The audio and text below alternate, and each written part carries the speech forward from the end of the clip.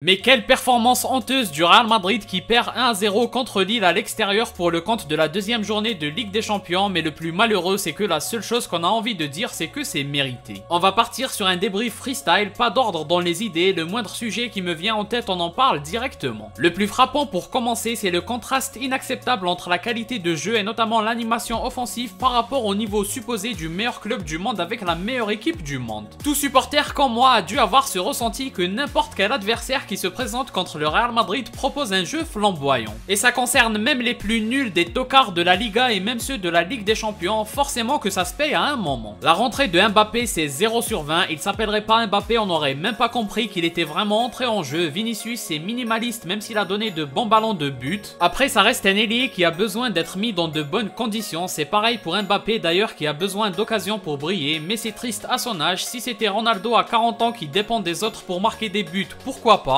Mais à l'âge de Mbappé, on s'attend quand même à ce qu'il prenne la balle et détruise tout le monde sur son chemin. Mais ça, ce n'est qu'un fantasme si on s'attarde sur son début de saison et même sa saison dernière. Après, ce serait injuste de faire une fixette sur lui. Le seul et unique responsable s'appelle Ancelotti, mais comment le blâmer quand il a gagné deux Ligues des Champions et deux Ligas en 3 ans avec ce même style de jeu? C'est toujours la même chose que son est fatigant et surtout ennuyeux à regarder. Une organisation défensive plus ou moins cohérente et offensivement, c'est totalement hasardeux. Au petit bonheur, la chance. Franchement, c'est pas normal par rapport au statut du club et du talent des joueurs supposés, mais justement cette qualité sur le terrain est si grande que ça suffit à 95% du temps pour battre tout le monde et compenser le mauvais fond de jeu. Sauf que quand ils ne répondent pas présents et qu'en face ils jouent le match de leur vie, ça donne ce genre de performance honteuse. C'est justement le dilemme du champion. Pour le Real, c'était presque un match banal gagné d'avance et assez facilement, mais pour Lille, c'est le match d'une vie pour les supporters et un match historique pour le club. Donc leurs lacunes techniques sont compensées par leurs efforts sur le terrain et ça donne ce genre de résultat. Bien sûr, c'est déjà arrivé que le Real perde contre une petite équipe et finisse par gagner la compétition, c'est un grand classique et en plus le Real n'est jamais meilleur que quand l'adversité est grande, sauf que lors de cette saison ça devient vraiment une caricature. En première mi-temps, avant même ce but, je me faisais la réflexion que ça doit être un bonheur d'être l'adversaire du Real, certes souvent ça se termine par un match frustrant et écœurant parce qu'on est les spécialistes des victoires non méritées, mais tous les adversaires doivent se régaler parce qu'ils se découvrent comme jamais contre le Real. On a toujours l'impression que l'adversaire sait jouer au ballon, c'est le cas avec Lille mais aussi avec les faibles équipes de Ligue 1. Le Real s'en sort beaucoup trop souvent grâce au talent individuel, ça a donné raison à Ancelotti durant les trois dernières saisons, mais quand on fait une analyse, c'est pas possible de ne pas pointer le manque d'idées collectives. Et si on est honnête, c'est le genre de match que gagne le Real d'habitude, au vu de la fin de match, c'est minimum match nul, Vinicius a donné de bons ballons, Modric aussi, Hendrik a aussi eu sa chance en première mi-temps, c'est juste que quand la chance quitte le Real, on se rend compte qu'il ne reste presque plus rien. Mais le LOSC a aussi eu toutes ses chances, il mérite aussi de marquer dans le jeu, et pourtant dans le dernier geste, ça manque de QI football, avec plus de courage et de vision de jeu, leur attaquant David aurait dû avoir droit à 2-3 face à face minimum. En plus, Lunin a aussi fait 2 ou 3 arrêts assez importants, c'est anormal qu'en physionomie de match, quand on face l'adversaire, c'est le Real Madrid. Le pire, c'est que ça ne tourne en défaveur du Real que maintenant, pas mal de victoires en ce début de saison auraient pu se terminer ainsi, on m'a reproché de ne pas être optimiste dans mes débriefs, mais la raison est simple, une analyse se fait en fonction du jeu proposé, pas du résultat. Cette fois-ci, comme il y a eu défaite, tout le monde va tomber sur Ancelotti et certains joueurs, mais c'est avant qu'il fallait leur tomber dessus. Enfin bref, bravo à Lille pour la qualité de jeu et surtout l'intensité, ils ont quelques individualités vraiment intéressantes. Personnellement, je pense que c'est plutôt bien fait pour le Real pour se rendre compte que tout n'ira pas toujours dans le bon sens, ils ne peuvent pas se mettre à jouer à fond seulement dans les 10 dernières minutes. On n'en peut plus de s'ennuyer devant une bonne partie des matchs, dès le départ faut tout donner et un joueur comme Mbappé ne peut pas faire des rentrées insuffisantes comme celle-ci, mais bon son cas est tout aussi inquiétant que celui du Real collectivement parlant. Et pour conclure, ces 3 points de perdu plutôt décisifs pour le top 8, c'est aussi pour cette raison que c'est une vraie contre-performance, mais le chemin est encore lent pour faire des conclusions hâtives. Comme d'habitude, n'hésitez pas à donner votre avis en commentaire. Si vous avez aimé, laissez un like et abonnez-vous pour ne rien rater. Partagez aussi la vidéo pour me soutenir. Moi, je vous dis à la prochaine. Portez-vous bien.